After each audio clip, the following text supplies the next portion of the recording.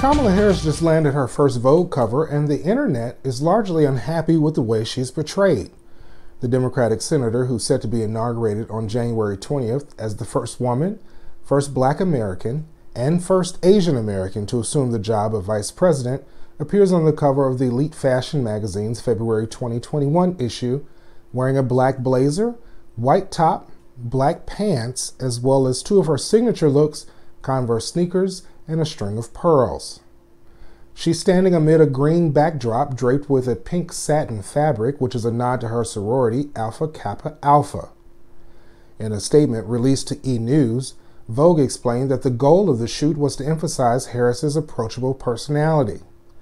An insider says that the magazine collaborated closely with Harris on the creative decisions, including the styling for the shoot and that both looks were chosen by the VP elect and her team.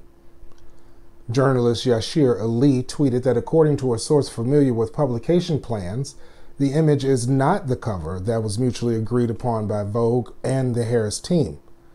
On Sunday, January 10th, Vogue released a second cover image in which Harris is shown at a closer angle and sports a powder blue Michael Kors suit with a different pearl necklace in front of a wood backdrop. Ali said he was told that the cover showing Harris in the blue suit was the Vogue cover Kamala Harris's team thought would be released, noting that that was the digital cover, while the leaked image has already gone to print and will be the cover available for sale and sent to subscribers.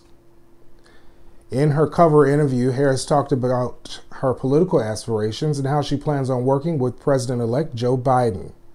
She says she sees herself as a vice president who will always speak the truth, always give him my opinion, which will be based on fact and knowledge and life experience, and do it in a way that allows him, when he makes a decision, to make it with full information about the impact, and he's asked me to do that.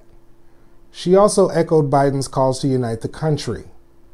We can agree that we have more in common than what separates us, she told Vogue, and agree that it is not in the best interest of who we are as a nation to have any one group suffer for who they are.